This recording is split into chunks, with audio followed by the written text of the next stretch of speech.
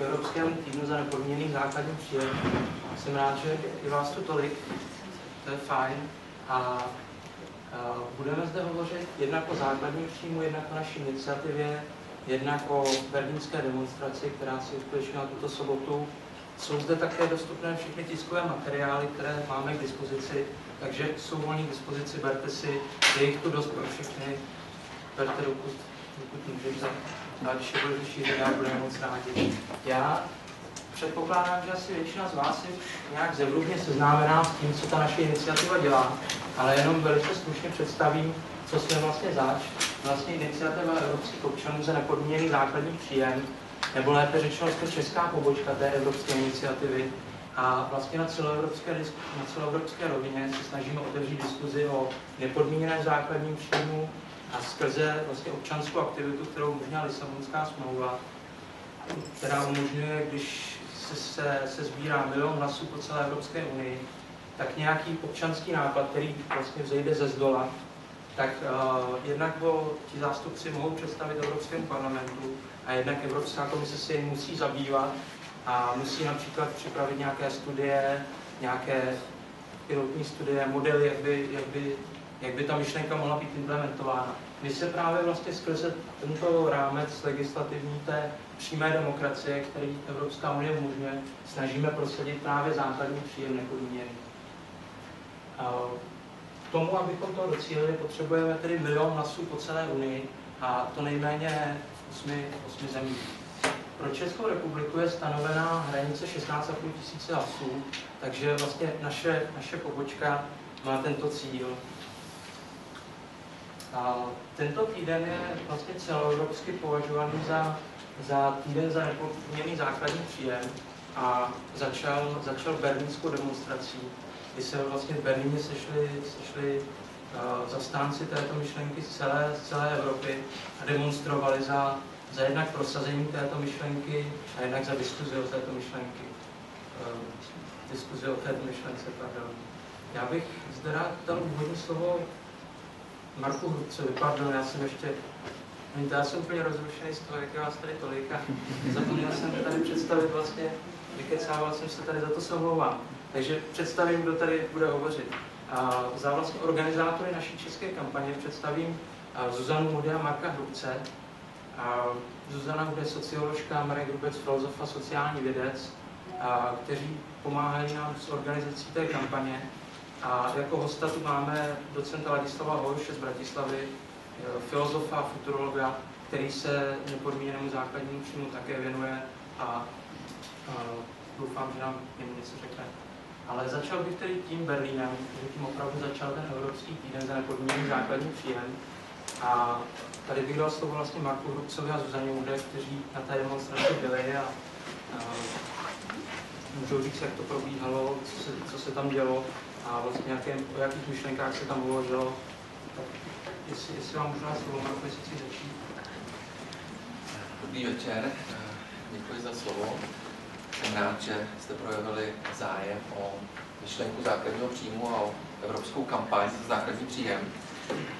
Víkend, který se odehrával v Berlíně, byl věnován dvěma věcem.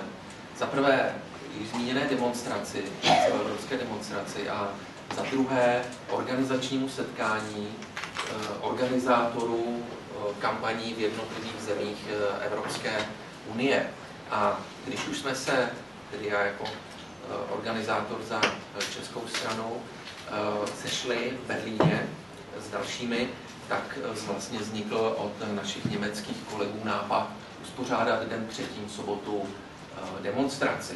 Na té demonstraci byli zejména samozřejmě lidé z Německa, ale také mnoho účastníků občanů i řečníků z dalších evropských zemí a demonstrace pochodovala od Alexandru Placu eh, k vlastně budovám ve vládní čtvrti, Bundestagu a eh, vládě.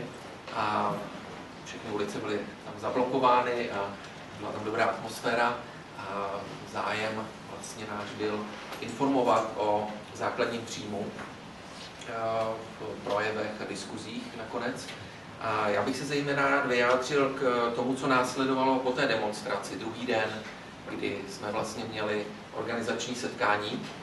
A samozřejmě v jednotlivých zemích Evropské unie ta kampaň e, vypadá různě, zejména v Belgii, Německu, ve Švýcarsku, v Rakousku se vede diskuze dlouho, několik desetiletí a zejména poslední dekádu takže tam o, o myšlence základního příjmu občané hodně vědí, když jsou oslovováni, zda nechtějí podepsat petici za zavedení základního příjmu.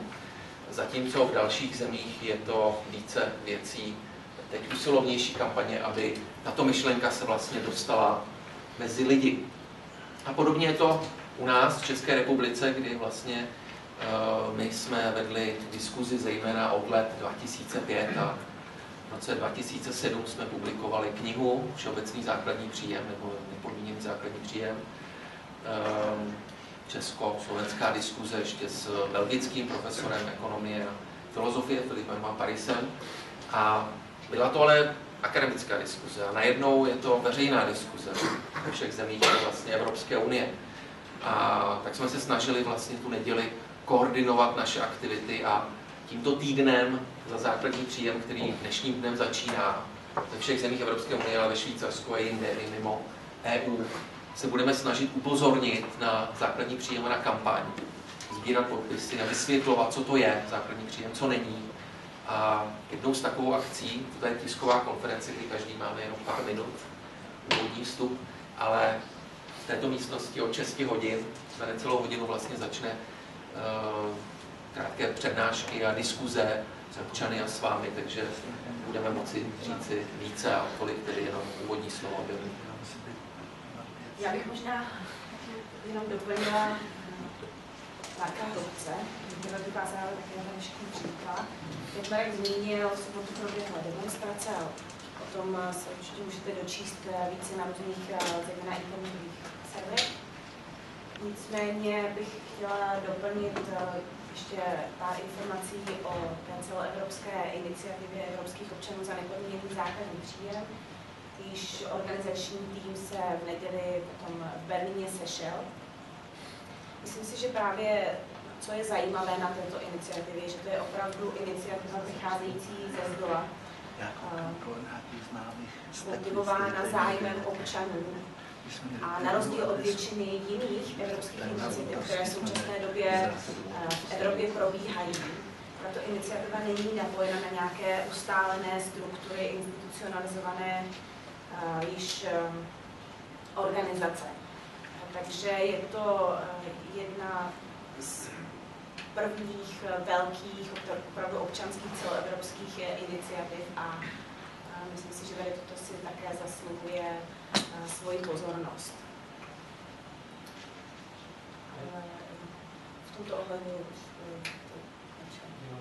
já bych rád no, vlastně ten Berlín navázal vůbec otázkou, co to je ten nepodmíněný základní příjem, že ono existuje vlastně spousta verzí a každý, každý člověk nebo každý zastánce má tu svoji ideu, ale já bych rád požádal docenta Houše, jestli by ve stručnosti představil, co to ten nepodmíněný základní příjem je vlastně ve své podstatě. No práve po ceste sem sme tuto s kolegom Hrubcom spomínali, že vlastne pôvodná idea Filipa van Parisa bola publikovaná vo filozofickom časopise niekedy 2005-2006 sa o tom diskutovalo, 2007 vyšla monografia o filozofickom ústave, kde už boli k tej Parisovej štúdii aj príspevky našich autorov, ale to bola čiste akademická záležitosť, ktorá nemala nejakú odozvu vo verejnosti. Tá pôvodná idea vlastne nepodmieneného základného príjmu vyjadruje vlastne to, že v podstate existuje nejaký štandard, na ktorý má nárok každá ľudská bytosť, pretože je ľudská bytosť. A to je aj štandard teda nejakého materiálneho zabezpečenia, ale aj štandard nejakého osobného rastu. tej pôvodnej verzii Fan Parisovej je to myslené vlastne ako spôsob transformácie dnešných sociálnych systémov. Totiž jedna vec je súčasnosť, kedy sa v podstate ukazuje, že dochádza k demontáži sociálnych istôt a to jednak narastaním nezamestnanosti a jednak ale aj tým, že sa mení e, spôsob práce, teda tzv. prekarizovaná práca, práca na dočasnú pracovnú dobu, ktorá nezaručuje žiadne sociálne istoty a v podstate zlyhávajú aj sociálne systémy, ktoré boli vybudované v iných podmienkach, mám na mysli v Európe štát blahobytu. Teda toto je ten kontext toho pôvodného Fanparisovho návrhu. Z hľadiska budúcnosti, a mali by sme rozmýšľať aj o budúcnosti, no, zákaz nevoľníctva alebo 8-hodinový pracovný čas boli na určitom historickom stupni významnými výdobytkami. Samozrejme to zase súvisí, ja neviem, napríklad s, s úrovňou techniky a technológie a s ďalšími faktormi vývoja spoločnosti. To by bolo na samostatnú prednášku, ale chcem tým povedať len to, že ten 8-hodinový pracovný čas v určitom období života a vlastne ten normatívny ideál plnej zamestnanosti, na ktorej bol založený štát blahobytu, jednoducho dnes už prestáva byť aktuálny. No, nakoniec všeobecnú pracovnú a povinnosť predsa bola hlásená aj spôsobom Arbeit macht frei, tak neviem, či toto alebo Gulag má byť teda tým prototypom. Takže podstate sa ukazuje, že tie zásadné zmeny techniky a technológie ľudskú prácu obmedzujú najmä tú nekvalifikovanú a menej kvalifikovanú. Teda tak tohto druhu práce nebude nikdy dosť pre všetkých. Iná sú, pravda, rôzne tvorivé činnosti. Tam je to neobmedzené, čiže ja to vidím ako spôsob transformácie vlastne od priemyselnej technológie k vyšším technológiám, ktoré budú založené na úplne iných princípoch, dokonca prekonávajú aj súčasnú plnú automatizáciu. To mám na mysli napríklad nanotechnológie, kde v podstate potom si môžeme veľmi ľahko predstaviť to, čo vidno v tom seriáli Star Trek ako replikátor. Inak takým zárodkom ešte veľmi, pravda, skromným sú 3D tlačiarne, ktoré jednak je to neúmerne drahé a jednak je, myslím, signifikantné, že prvé využitie, ktoré to má, tak to sú zbranie, ktoré sa nedajú detekovať bežnými metódami. Čiže ja by som videl teda dve roviny, jednak súčasnosť ako sa transformuje sociálny systém. A jednak by som povedal, ale že toto je aj ten prvok tej tretej vlny. Teda prvá vlna bola agrárna, druhá industriálna a tretia, ako hovorí Alvin Toffler, tak to je tá digitálna éra alebo vysoké technológie. Já bych, nerad bych, nerad bych jenom o tom hovořil my, takže jestli máte jakýkoliv dotaz k nepodmíněnému základnímu příjmu, protože máme omezený čas, od 6 pak bude seminář, kde se, se bude pokračovat diskuzi, ale pokud se někdo může držet jenom na tiskovou konferenci, a máte dotaz, určitě, určitě si můžete směle do pléna. Jinak my budeme hovořit dál až, až do nekonečna, takže bude nejlepší, když nás teď zastavíte a zeptáte se na to, co vás zajímá.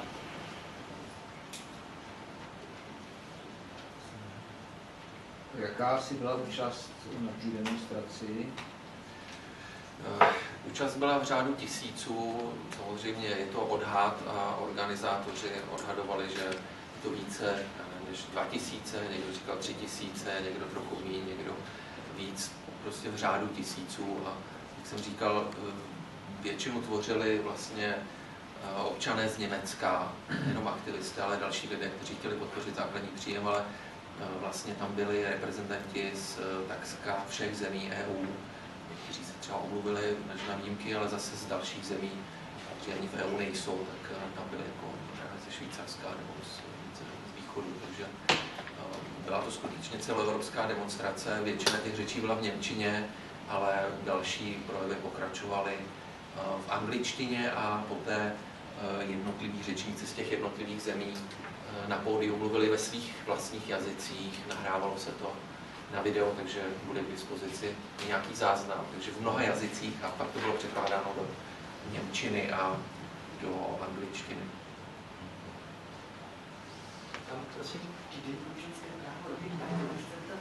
Za prvé, kolik těch podpisů má ta česká sekce, kolik ještě chybí? To byla první otázka. Druhá, jaká je navrhovaná výše toho základního příjmu? Přišla zpráva, že Švýcaři, kteří nejsou v EU, ale jsou pokrokoví, takže navrhují 1500 euro na osobu. A za třetí, co budeme dělat? Že jsou signatáři té petice, co budeme dělat, pokud se k tomu eurokomisaři nepostaví čele, protože oni mají takovou podobnou přímou demokracii, že jenom se s tím mohou zabývat nebo musí zabývat, ale to je všechno. Že parlament s tím není nějak vázán, takže to nebude platné třeba, že nejsme ještě tak vyspělá společnost, aby si to mohli dovolit a podobně. Takže co bude dál? Tak já stručně k něčemu a kolegové mě, kolegyně doplní patrně. Kolik máme podpisů? No, v každé zemi musí být vzhledem k počtu obyvatel sebráno nějaké množství podpisů procentuálně um, adekvátně tomu, že uh, v celé EU potřebujeme milion podpisů. Pro Českou republiku to dělá 16,5 tisíce podpisů. A dnes máme zhruba desetinu, ale vlastně jsme nezačali pořádně se sběrem podpisů, protože tady je třeba si uvědomit, že jsme doteď šířili myšlenku základního příjmu, na některých seminářích, eh, prostřednictvím některých článků eh, v médiích eh, a diskuzemi s občany, protože jsme se domnívali, že kampaň, která trvá tento rok, když se zabýváme základním příjmem dlouhodobě, tak od ledna tohoto roku do příštího roku, by měla začít v první fázi především tím, že informujeme, co to je základní příjem. Diskutujeme s občany, co by chtěli, co by nechtěli a teprve poté, když se ví, co to je, tak se může více začít sbírat podpisy. Uh, ne naopak. Takže samozřejmě i do jisté míry jsme sbírali podpisy, to je fakt a snažili jsme se. Ale vlastně tento týden za základní příjem je rozjezdem uh, těch podzimních aktivit, seminářů, promítání filmů, sběru podpisů. Uh, příkladem může být od dneška funguje na Jupanově náměstí informační a petiční stan, Některé dny bude tam, některé dny bude eh, jinde, ale pondělí, pátek, pondělí, středa, pátek by tam měl být nyní. Takže eh, tady můžeme říct, že vlastně při tom rozjezdu máme desetinu a myslíme, že když zahájíme teď eh, tu kampaň, tak si v tom plném smyslu, tak bychom mohli ty podpisy nazbírat. A poté k té druhé já bych doplnila jenom k těm podpisům. Možná by stálo za to, abyste věděli, že na těch webových stránkách iniciativy všeobecný základní příjem.cz je odkaz i na takové počítadlo, kde se aktuálně zobrazuje počet elektronicky sezbíraných podpisů. Samozřejmě ty papírově, eh, papírové petice je, je teď eh, složité v průběhu té kampaně počítat, takže ty budou dodány až později a zatím si vedou statistiky jenom jednotlivé země. Ano, to bych měl doplnit, že ty čísla, co jsem uvedl, když máme tu desetinu asi, nevím, 17 podpisů, tak to je to, co je na webových stránkách. Ti, co to podepsali elektronicky, jestli je, nevím, tisíc nebo dva tisíce nebo tři podpisů ještě na petičních areších, to teď nevím, to budeme vědět až na konci eh, roku, nebo spíš až v lednu, kdy končí v polovině ledna eh, ta roční kampaň. Takže máme asi více teda než desetinu, máme třeba, řekněme, eh, okolo pětinu třeba možná podpisů, ale teď vlastně všechno začíná. Teď dnešním týdnem za nepodmíněně základní příjem a za příští týden bude například seminář v Brně a pak v dalších městech České republiky. Na konci měsíce bude, myslím, promítání filmu z diskuzí nebo na začátku října. 14. Eh, října bude další seminář a jednou za měsíc budou se konat takto akce, takže bude se to šířit. Hm, poté eh, druhá otázka. Ehm, co se stane, když eh, jak si uspějeme té naší kampani? Evropská unie se tím bude zabývat, bude slyšení v Evropském parlamentu, Evropská komise vypracuje různé varianty, jak zavést základní jaké výši a tak dále. Takže teď třeba požadujeme 60% um, mediánu příjmu, ale to je, návrh jde o to, aby bylo naplněno uh, právo na život a právo na důstojný život člověka, což v každé zemi je trošku jiná částka. Uh, jde o to, že uh, tato roční kampaň je samozřejmě kampaní, která má vést k diskuzi o tom, jak ten příjem zavést, v jaké výši, v jaké variantě a tak dále, aby se poté mohl zavést. Ale nezapomeňme na to, že tato kampaň má v té dlouhodobé historii význam eh, v tom, že se masivně šíří po celé Evropské unii a po celé Evropě myšlenka základního příjmu. Když se diskutovalo o zavedení všeobecného hlasovacího práva, to nebyla věc jednoho roku. To byla věc desítek let, stovek, když se podíváte na první uh, ideje uh, zavedení hlasovacího práva. To znamená, my, kteří se tím zabýváme dlouhodobě, to je vynikající rok, že se uh, tato myšlenka dostane do všech médií a my doufáme, že se vše podaří prosadit a že podpisy budou se sbírány a že Evropská unie bude potom realizovat to, co má. Ale fakticky to, že funguje tato kampaň, je ještě důležitější, než eh, jak, jak se k tomu přesně postaví Evropská unie. Protože už to, že se tato kampaň bude realizovat, tak eh, to bude informovat mnoho lidí a občané si řeknou, tak máme všeobecné hlasovací právo, máme všeobecné zdravotní pojištění. Neměli bychom mít i všeobecný základní příjem. A někteří si řeknou třeba, že nepotřebují hlasovací právo nebo základní příjem. Samozřejmě, ale eh, myslím, že ta myšlenka je atraktivní na to, aby si získala pozornost a pokud si získá, tak uh, myslím si, že by mohlo dojít k tomu, že uh, dojde k realizaci a na závěr toho bych řekl, před krizí byla myšlenka Tobinovy daně považována za velice radikální myšlenku, s kterou mnohí politici nechtěli mít většina nic společného. Přišla krize, začala se diskutovat myšlenka Tobinovy daně, tedy zdanění spekulativního kapitálu v Evropském parlamentu. I konzervativci se sociální demokraty ti, co o tom dříve nediskutovali. A po té diskuzi najednou eh, jsme ve stavu, kdy Tobinovou daň zavádí 11 zemí Evropské unie.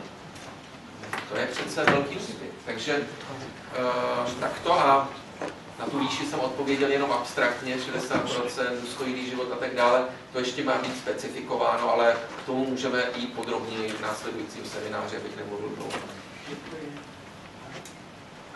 Dobrý den, Jiřička, jedna CZ. Mě by zajímalo v Česku, jaký by byl zdroj financování, mohl by být. A jestli je to myšleno tak, že by ten příjem nahradil sociální dávky, důchod a Jak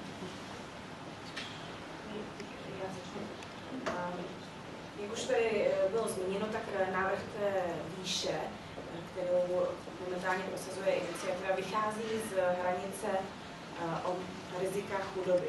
To znamená, ta výše by měla být nastavena tak, aby všem zajistila důstojný život a, aby, všem, aby eliminovala riziko chudoby v evropské společnosti. Nicméně, toto je určitý minimální základ a evropská iniciativa nepředpokládá, že by toto mělo nahradit sociální stát jako takový. Samozřejmě by došlo k určité modifikaci, nicméně jako zdravotní pojištění, vzdělávání, um, důchody, um, příspěvky zdravotně postiženým a podobně by rozhodně měly zůstat zachovány v by měly zůstat zachovány, protože ačkoliv ten univerzální základní příjem je myšlen jako eh, všeobecný, je nutné si uvědomit, že lidé mají různé potřeby a jejich eh, eh, finanční potřeby, aby se mohli aktivně účastnit společenského života, se liší. A tohle by mělo být stále reflektováno. Já bych jenom doplnil, že budeme o tom mluvit podrobněji na semináři o česti. Eh, na straně 13 a 14 brožury se k tomu vyjadřujeme, aspoň stručně s kolegou Brabcem. Samozřejmě jsou na to různé názory, tam si dovolujeme prezentovat náš názor. Eh, rozhodně máte pravdu v tom, že mnohé dávky, které jsou teď vypláceny podmíněně a jsou vlastně pod hranicí, která by byla vyplácena, tady nulatý základní příjem, tak ty, co jsou v tomto rozmezí, tak by vlastně teď byly vypláceny nepodmíněně. To znamená, automaticky ty by se nemusely vyplácet, protože by stejně byly vypláceny. Akorát by lidé nemuseli prokazovat, že na ně mají tedy nárok. E, velká finanční částka by se mohla ušetřit na byrokracii, protože teď se zjišťuje, kdo na co má nárok a zjišťuje se, jestli potřební mají potřeby. A by bylo vědět, vlastně se toto mohlo eliminovat. Další věcí je třeba um, co je typické pro dobu globalizace od 80. let, eh, daňové úniky do daňových rájů. Toto jde vyřešit právními opatřeními. Firmy například, které mají eh, svá sídla v daňových rájích, tak samozřejmě ať svoje zboží prodávají kde chtějí, ale je možné jednoduše zavést pravidlo, že pokud chtějí prodávat zboží v naší zemi, tak asi by měli platit daně, pokud je nikde neplatí, tak by je měli doplatit, pokud by chtěli u nás prodávat zboží, anebo ať si to zboží samozřejmě nechají prodají jinde, eh, což by samozřejmě asi si nenechali, protože víme, že oni potřebují prodat do západních zemí. Eh, další zdroj příjmu by mohl být například, kde je příjem zaveden na Aljašce, nebo postupně se zavádí v Brazílii, z nerostných zdrojů, třeba z ropy nebo z těžby dalších eh, nerostných surovin. U nás jsou takové zdroje také, například teď se ehm, vypisovalo ehm, do konce září bude eh, vypsaný konkurs eh, české bude vypsán konkurs na kmitočty pro mobilní sítě vypisovací cena, ta, ta úvodní, jo, kterou se bude hrát a může samozřejmě být zvýšena potom, je asi 10 miliard korun.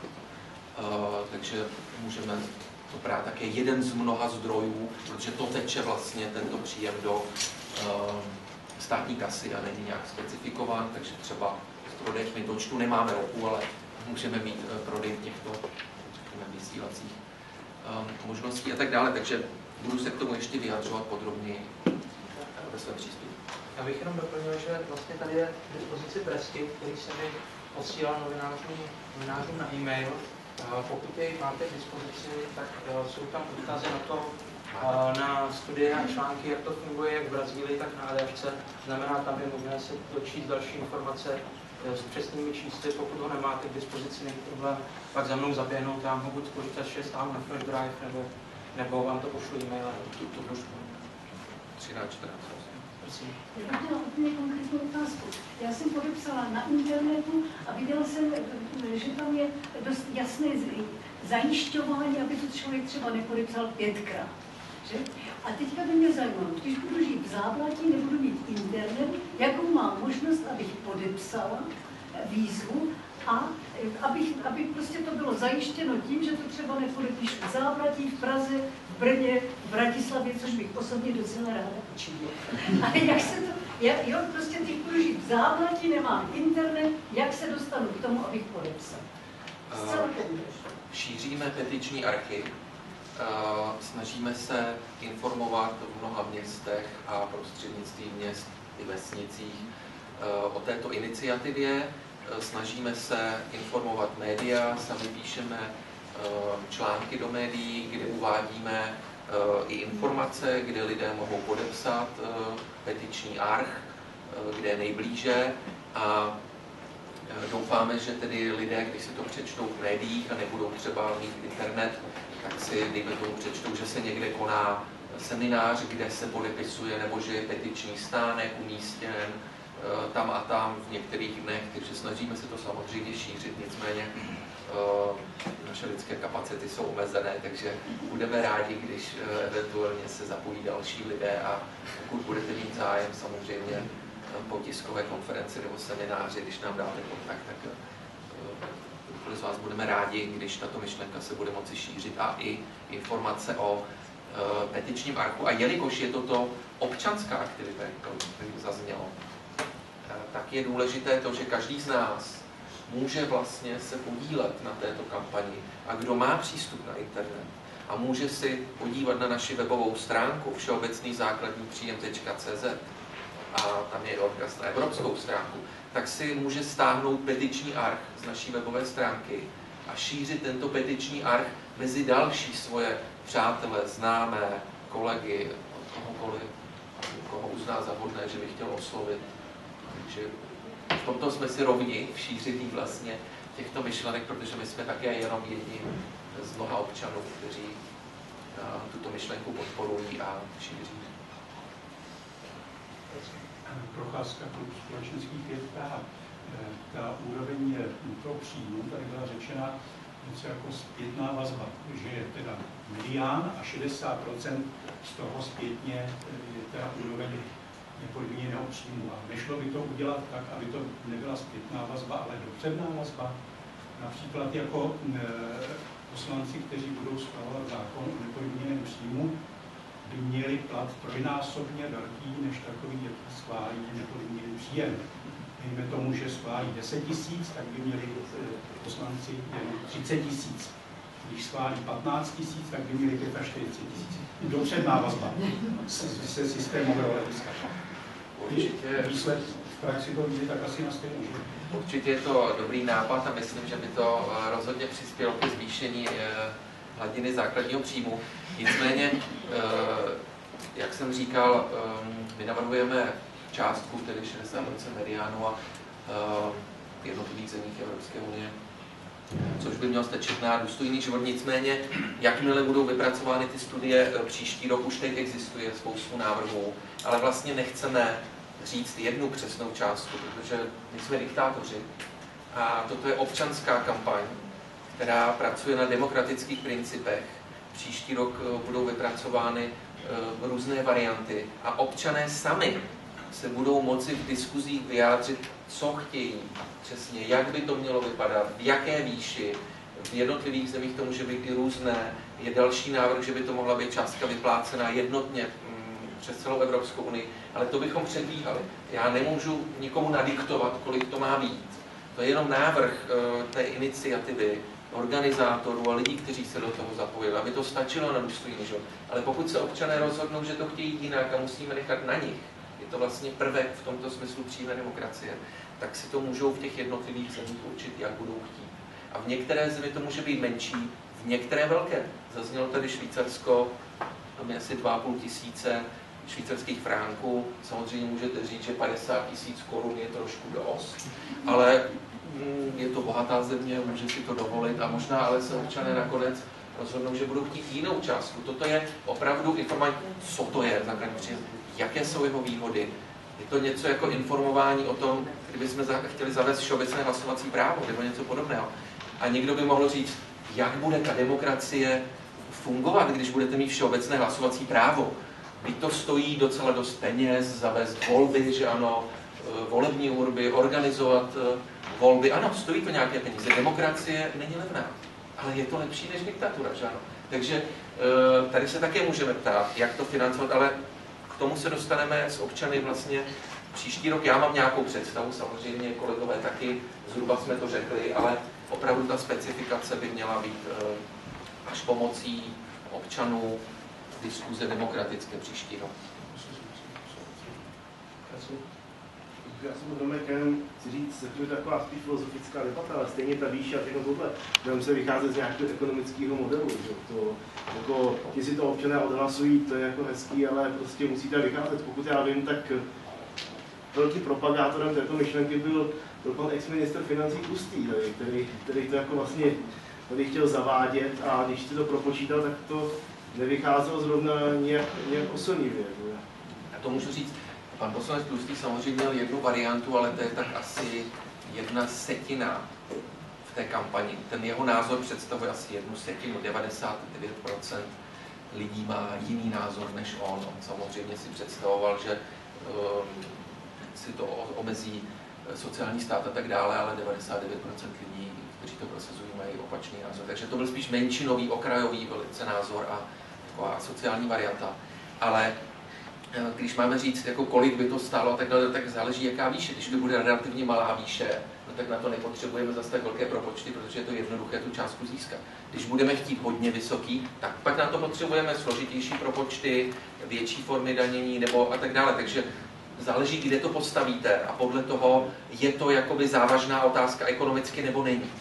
Ale dostaneme se k tomu ještě podrobně v semináři. A my to teď vedeme tento rok, sice jsme dělali analýzy v rámci jakoby, filozofických myšlenek z hlediska eh, ekonomie, politologie, sociologie, ale tento rok se snažíme vlastně dělat veřejnou kampaň s občany, s novináři a tento rok popravdě řečeno se tolik výzkumu nevěnujeme, tomu jsme se věnovali předtím, teď se eh, věnujeme těm šíření těch myšlenek, ale těch modelů je opravdu dost a je to udržitelná záležitost, eh, jinak víceméně by asi neexistoval. přes celou Evropskou unii ta kampaň a někdo už je to zavedeno, to Aljaška bude.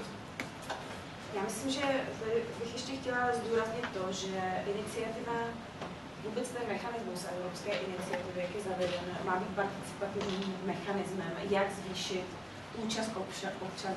Na druhou stranu ale nemůžeme chtít po lidech, kteří eh, mají prostě dost, aby předkládali celé eh, varianty a návrhy. Proto vlastně tady tahle iniciativa směřuje na to, aby ti, kteří se z určitých pozicích zabývají uh,